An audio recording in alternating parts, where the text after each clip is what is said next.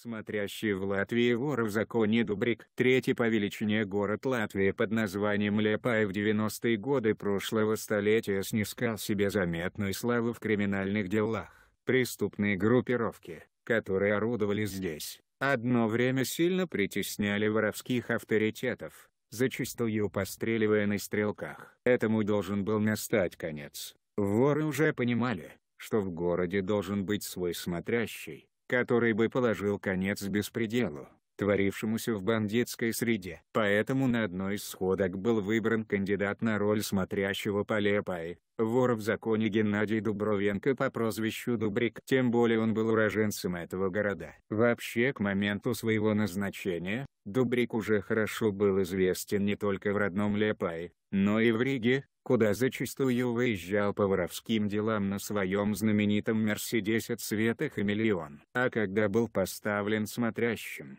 то вскоре стал считаться уже самым влиятельным вором в законе всего Курземского района Латвии. По-человечески Дубрика звали Геннадий Дубровенко, в своих кругах он откликался на Гашу Лепайского и Гашу Дубрика, а лепайчане называли его Дубриком. В Латвии было всего два вора в законе Рижский вор по кличке Аду или Апайский, Дубрик, причем, Дубрик был более авторитетным. Короновали его в тюрьме в Грузии в самом начале 90-х. И когда он вернулся домой в Лепаю, то начал выстраивать бандитскую систему по понятиям, стал крестным отцом местной мафии, шантаж, угрозы, подкуп должностных лиц государства, заказные убийства бизнесменов, принуждение к сотрудничеству под угрозой жизни, это краткий список методов работы Дубрика и его команды. Слева воры в законе, Зураб Шамугия, Аду, Геннадий Дубровенко, Гош Лепайский, и Роланд Гигичкари,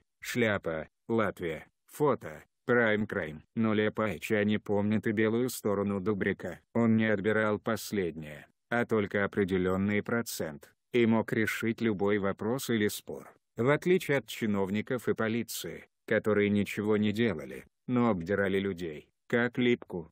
Забавно. Но именно бандит Дубрик на роскошных автомобилях начал первым пропускать пешеходов на переходах, приучил к этому всех своих бандюганов, а потом и всех остальных лепайчан. Говорят, Дубрик начал обучение водителей своим примером после того, когда какой-то лихач сбил школьницу на пешеходном переходе у школы.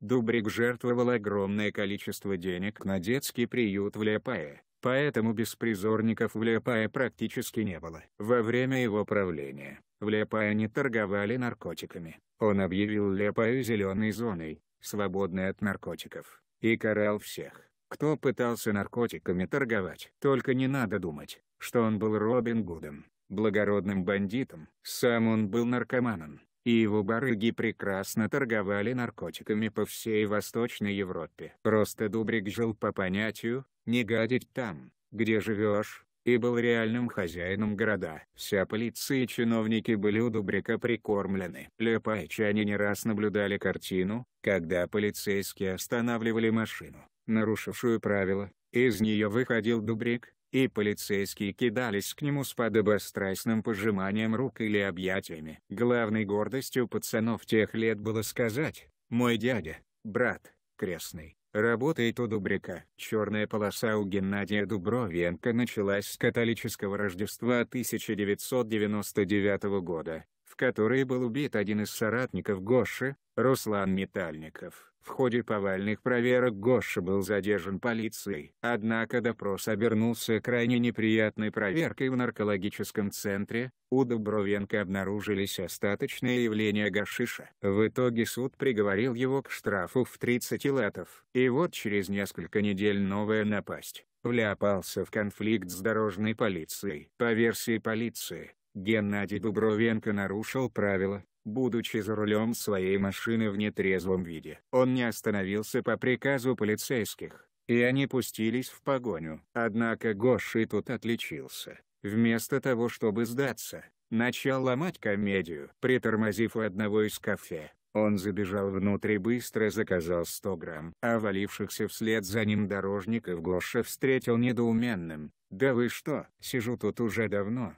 выпиваю. Дорожники растерялись и вызвали подмогу в виде бюро по борьбе с организованной преступностью и коррупцией. В общем, Дубрика задержали. Помимо пьяной езды ему вменили хулиганство, поскольку он обещал дорожникам массовые увольнения и проблемы со здоровьем. Суд приговорил его к 15 суткам заключения и штрафу в 200 латов. Увели Геннадия Дубровенко прямо из зала суда. Как говорят, как только Дубровенко попал за решетку, начальник управления полиции Лепа и Лепайского района Юрис Брикис издал распоряжение, в котором разрешил супруге арестованного три раза в день передавать ему горячую пищу. Тогда как в распоряжении Кабинета министров говорится, что приносить передачи административно арестованным разрешается не более одного раза в месяц. К тому же Дубрик ни одной ночью не спал на голых нарах и не замерзал по ночам.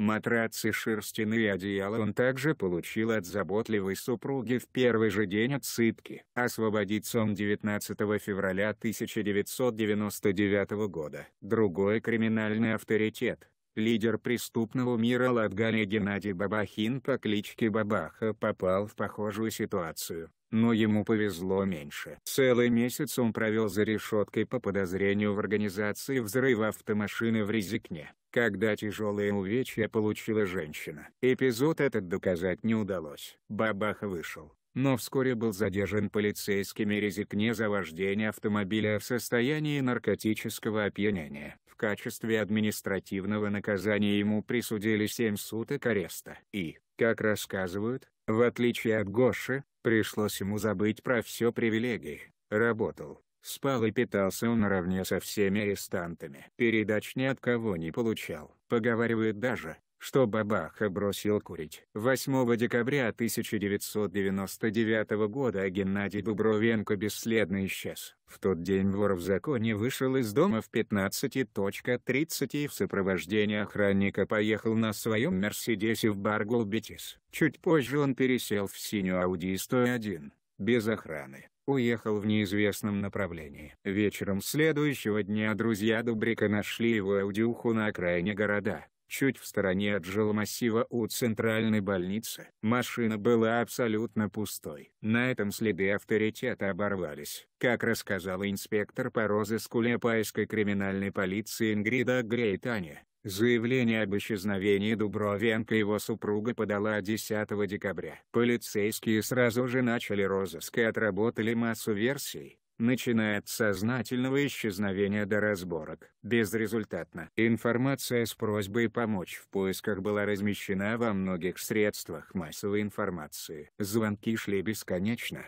Очевидцы сообщали, что ну вот только час назад его видели, или высказывали свои соображения о месте нахождения пропавшего. Всю эту информацию полицейские тщательно проверяли, но ни один сигнал не подтвердился. Самую драматическую версию о судьбе Геннадия Дубровенко сообщил некий старичок. Мол, видел на озере лодку, в ней, двух крутых, а везли они бетонный блок и большие букеты гвоздик. Так вот, в том блоке и был пропавший Дубровенко. Место, где блок был затоплен Информатор обещался показать в точности, но и эта версия оказалась несостоятельной. Как отмечают полицейские, исчезновение главного авторитета Лепая не привело к перестрелкам и прочим признакам передела сфер влияния в криминальной среде. Жизнь в городе шла своим чередом. Единственная разница, если раньше в Лепае было крайне трудно разжиться наркотой, Геннадий был категорически против распространения дряни в городе, то теперь найти травку и прочее гораздо легче.